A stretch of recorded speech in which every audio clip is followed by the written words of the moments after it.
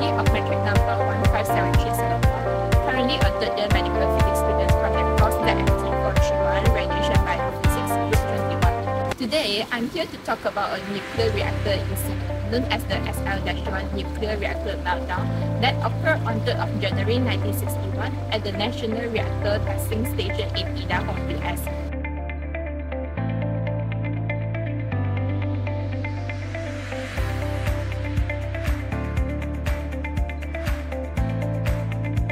SL-1 is also known as the Stationary Low Power Reactor Number 1, which is a 3 megawatt thermal boiling water reactor complete with a turbine generator and condenser designed to generate both electric power and heat. The main reason for choosing this topic is that this incident marked a historic milestone as the first and fatal reactor accident in the US.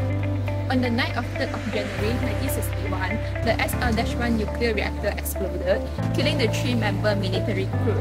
The crew had been performing the routine of reassembling the reactor control rod drive mechanism during a reactor outage.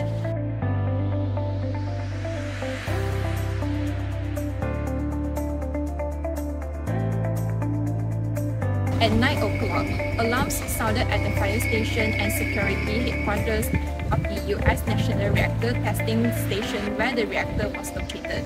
Investigation found that two operators died and detected high radiation levels in the building. The men killed in this incident were two Army specialists and one Navy electrician's mate.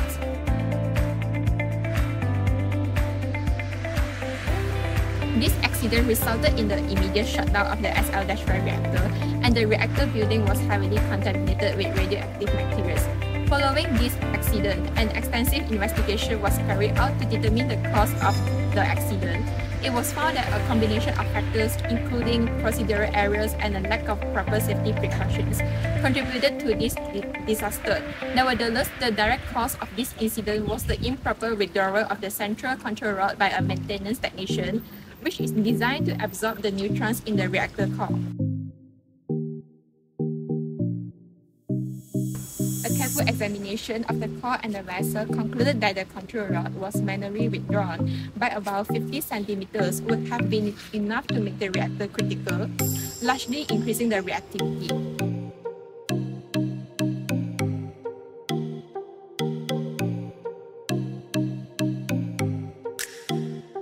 accident released about 80 curies of iodine-131, which was not considered significant due to its location in the remote desert of Idaho about 1,100 curies of fission products were released into the atmosphere.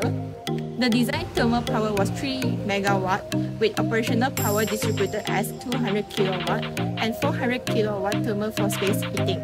In this accident, the core power level reached nearly 20 gigawatt in just 4 milliseconds, causing the plate type fuel to melt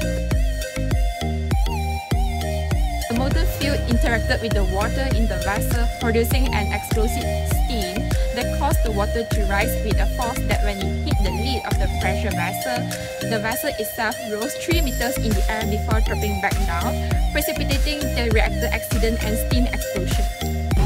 To sum up, the SL-1 accident highlighted the importance of safety protocols and proper training in the nuclear industry.